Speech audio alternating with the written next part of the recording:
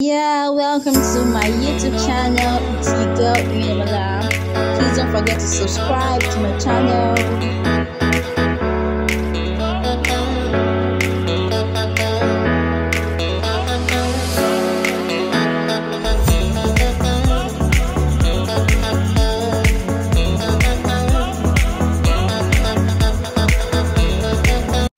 Welcome. Today I'll be teaching you guys how to prep your skin. You should know that you are supposed to prep your skin before you apply foundation. This is to ensure that your makeup lasts longer. So I went in with rose water and cotton wool to clean my face. I made sure that I clean my face very well to remove all impurities. Please note that you can also use wipes to clean your face. You can also use micellar water. Anyone within your reach, you can make use of it.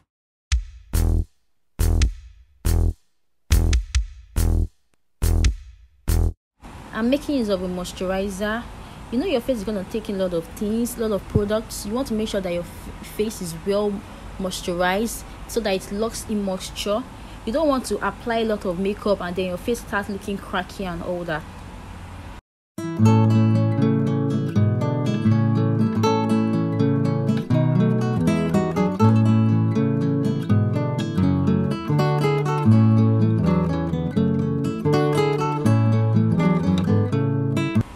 I'm making use of Mehron Skin Prep here. It's a toner, it helps in mattifying the skin. When you make use of it and you feel your skin, you can feel the mattifying effect already.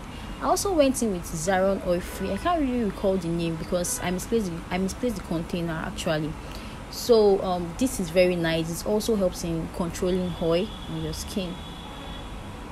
I am making use of primer here. I had to mix three primers together: Becca, Pond's, and Rimmel.